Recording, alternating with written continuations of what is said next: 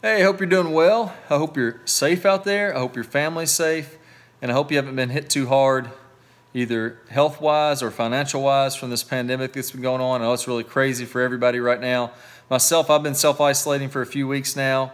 Caught a little bit of a cold a while back, lost my voice, so I had to stop making videos there for a little bit, but it, nothing serious. And uh, I'm going a little bit crazy being inside this entire time. So, we're ready to get out back into the general population. Hopefully, that'll be happening if we can all kind of do our part. But I wanted to touch base here, um, talking about some things that I have coming up here on YouTube. So before this all started to happen, I had a chance to shoot quite a few videos that are going to be coming out over the, the next month or even a little bit more than that.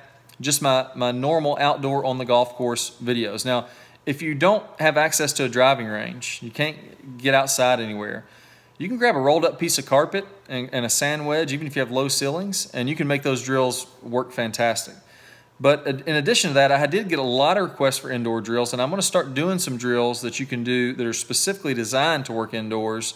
Uh, again, rolled up piece of carpet in your backyard. If you have a little bit of room in your backyard, we can do some chipping and putting, some things like that with real golf balls. Or if you got a full blown net and a mat, uh, this is going to be fantastic. So I've kind of kept that in mind so that no matter what you have, as long as you have a golf club and a rolled up piece of carpet or better, these drills are going to be awesome and they're going to work really well to help you keep improving your game and kind of take your mind off everything that's going on.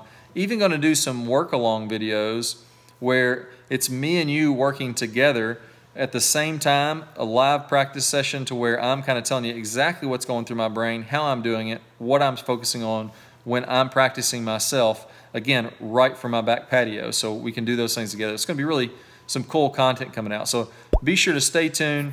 All that's going to be coming out. If you're not subscribed right now, hit that subscribe button so that you're notified when those videos come out. Now, one project that I've also been working on and, and is actually completed is some indoor modifications to my 20 minute distance fix program. And that's, I'm sure you've heard of this, but that's the program we've been having tons of success with. Players are driving 20 to 70 yards farther, 20 minute drill sessions, just three times a week for three weeks, and you're getting crazy gains out there. Now, what I've done is I've made indoor modifications for every one of those drills. So I've taken into account some of the limitations that players may have and made it to where you can follow right along with those.